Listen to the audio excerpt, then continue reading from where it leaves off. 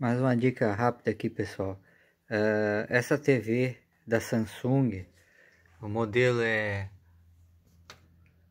UN50TU8000G, com o defeito uh, reiniciando. Ela vem, liga, vem o logo e, e entra o Smart e desliga. E assim vai infinitamente.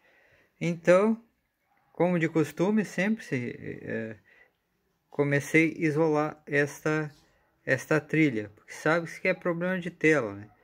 Comecei a isolar daqui para cá, fui isolando, isolando, cheguei até o fim e não resolveu. Ficou do mesmo jeito. Então, com a dica de um colega, eu vi aqui neste lado tem esse esses, esses pontos aqui de verificação uh, medindo todos eles aqui em relação ao terra todos esses pontos dá uma uma resistência muito alta.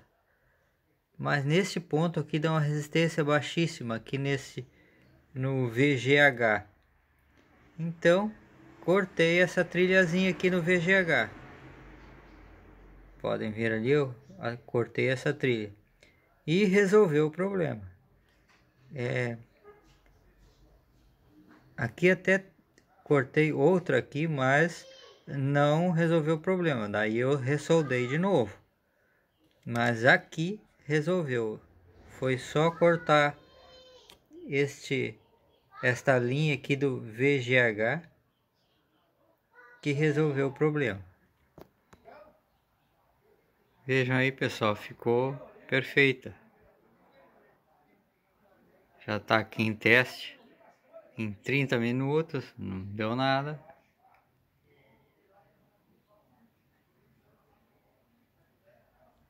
Isso aí, quem gostou da dica, se inscreva no canal, curte aí.